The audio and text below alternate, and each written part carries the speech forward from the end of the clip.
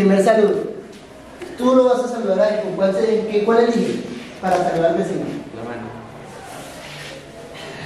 Eso, siguiente.